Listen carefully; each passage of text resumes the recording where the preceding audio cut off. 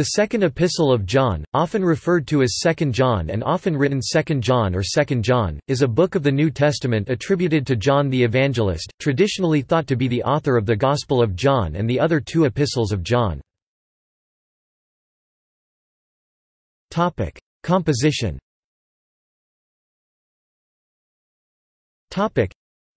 The language of this epistle is remarkably similar to 3 John.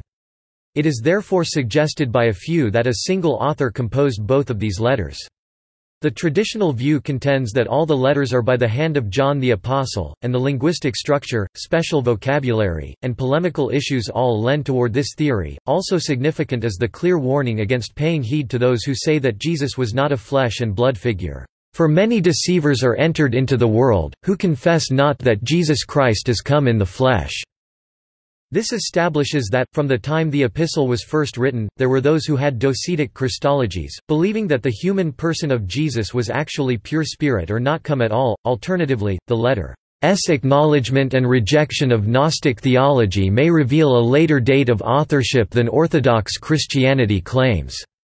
This cannot be assured by a simple study of the context. Gnosticism S beginnings and its relationship to Christianity are poorly dated, due to an insufficient corpus of literature relating the first interactions between the two religions.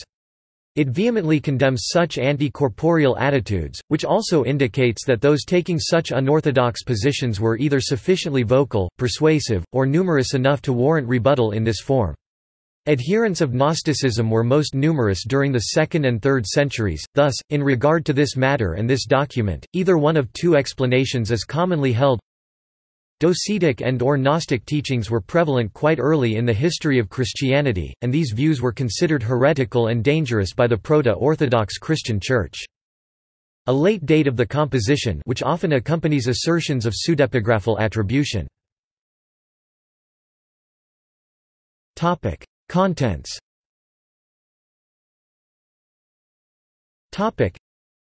It reads as follows The elder to the elect lady and her children, whom I love in the truth, and not only I but also all who know the truth, because of the truth that abides in us and will be with us forever. Grace, mercy, and peace will be with us from God the Father and from Jesus Christ, the Father's Son, in truth and love. I was overjoyed to find some of your children walking in the truth, just as we have been commanded by the Father. But now, dear lady, I ask you, not as though I were writing you a new commandment, but one we have had from the beginning, let us love one another. And this is love, that we walk according to his commandments, this is the commandment just as you have heard it from the beginning. You must walk in it. Many deceivers have gone out into the world, those who do not confess that Jesus Christ has come in the flesh, any such person is the deceiver and the Antichrist. Be on your guard, so that you do not lose what we have worked for, but may receive a full reward. Everyone who does not abide in the teaching of Christ, but goes beyond it, does not have God, whoever abides in the teaching has both the Father and the Son. Do not receive into the house or welcome anyone who comes to you and does not bring this teaching, for to welcome is to participate in the evil deeds of such a person. Although I have much to write to you, I would rather not use paper and ink, instead I hope to come to you and talk with you face to face, so that our joy may be complete. The children of your elect sister send you their greetings. 1. The doctrines of Docetism and Gnosticism had made inroads among the followers of Jesus in the latter half of the first century. Some said that Jesus never assumed human flesh, but only had the appearance of flesh, because they were scandalized that divinity would soil itself by associating so closely with matter. Others said that Christ was raised as a spirit only, and did not experience a bodily resurrection. In this epistle John condemns such doctrines in no uncertain terms with the statement that such persons were antichrist. Interpretation of the lady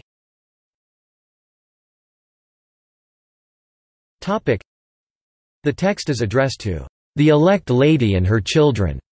Some interpretations translate this phrase as elder lady and her children, and closes with the words, the children of thy elect sister greet thee.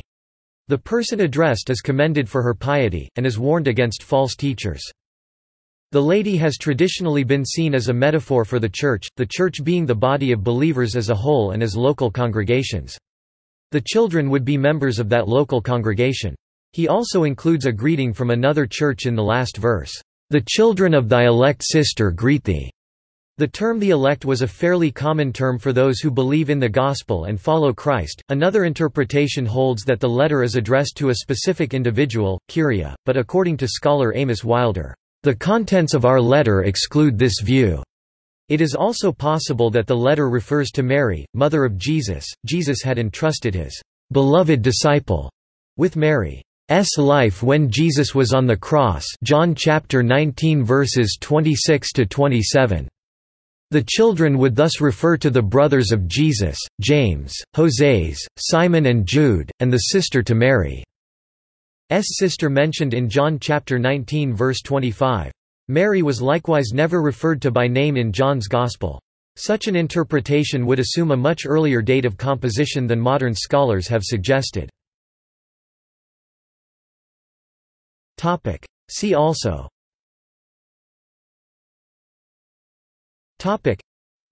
John the Apostle. Textual variants in the Second Epistle of John. Notes Topic Topic References Topic this article incorporates text from a publication now in the public domain, Easton, Matthew George 1897. Article name needed. Easton's Bible Dictionary New and Revised ed. T. Nelson and Sons. Topic. External links Topic. Online translations of the Second Epistle of John. Online Bible at gospelhall.org KJV Niv. Bible, 2nd John Public Domain Audiobook at LibriVox Various versions Online articles on the Second Epistle of John. The Second General Epistle of John from Kretzmann's Popular Commentary of the Bible. An exegesis of 2 John chapters 7–11 by Mark A. Pauschon